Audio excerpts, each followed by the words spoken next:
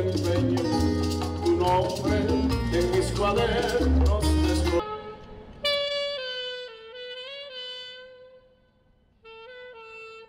Mi padre dejó su tierra y cuando al morro llegó, La Habana le abrió su Lo